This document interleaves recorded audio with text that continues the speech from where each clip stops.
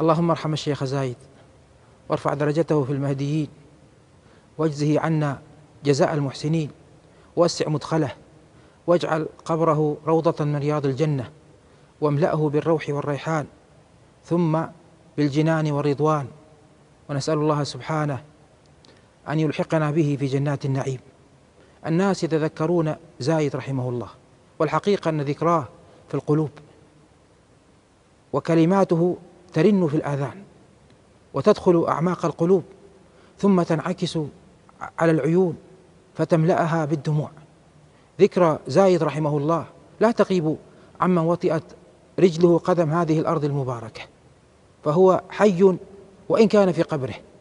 وذكراه لا تغيب عن أحد بل لا يمكن لأحد أن يذكر زايد رحمه الله ولا يترحم عليه ولا يرى إفضاله.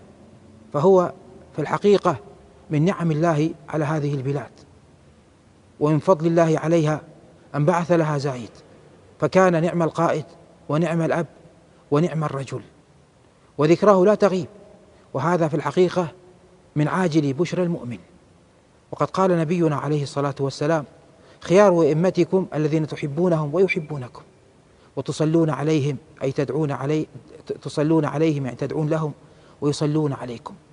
فإذا تواصلت دعوات بين الراعي والرعية وسكن الراعي في قلوب الرعية فهذه بشرى خير من رسولنا عليه الصلاة والسلام بأنهم أئمة أخيار. فنسأل الله عز وجل يجمعنا به. ثم التحدث عن ذكراه وعن مآثره عليه رحمة الله شيء ينقطع ينقطع دونه السنين والأيام والكتب. فهو رحمه الله كان فلتة في جوانب الحياة كلها في دينه وفي دنياه وفي تخطيطه. رجل ربته الصحراء وصبر وصابر ثم اجتهد وجاهد حتى أينعت الإمارات وكانت دوحة غناء بالخيرات وارفة بالأمن والأمان. كله في الحقيقة من فضل الله عز وجل ثم من فضل هذا الإمام الراحل ثم من ورثه من بعده. من أبنائه الكرام البررة. وإن كنا نعزي أنفسنا فالتسلية في أولاده حفظهم الله عز وجل. فهم يسيرون على نهجه ويحيون طريقته رحمهم الله رحم رحمه الله. وبارك في من خلفه وزاد في عمره وتقواه. فهم شامة في الخير. ودولتنا ولله الحمد في العمل الإنساني يضرب بها المثل. خيرها عم القريب والبعيد.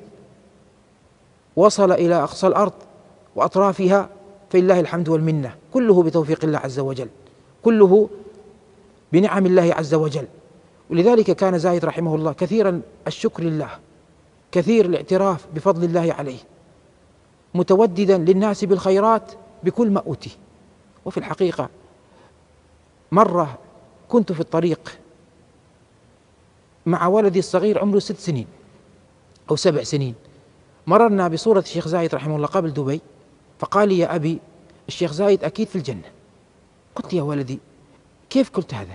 قال الشيخ زايد يساعد المساكين يعطي الناس بيوت يعطي الناس هدايا وأكيد اللي يفعل هذه الأشياء الله يحبه واللي يحبه الله يدخل الجنة.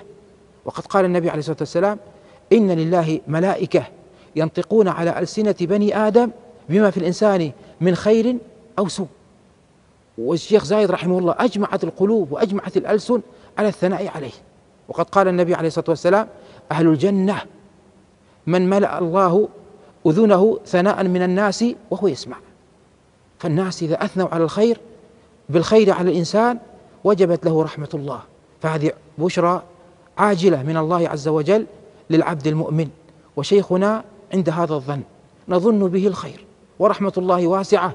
ونسأل الله عز وجل أن نجاوره في جنته في فردوس الأعلى بمنه وكرمه وأن يحفظ علينا ديننا وأمننا واستقرارنا وآخر دعوانا. الحمد لله رب العالمين. وفي الختام في الحقيقة إن كان ثم كلمة فشكر موصول متجدد لمؤسسة وطني على دورها الرائد وخدمتها المجتمعية ورد جميلها لوطنها.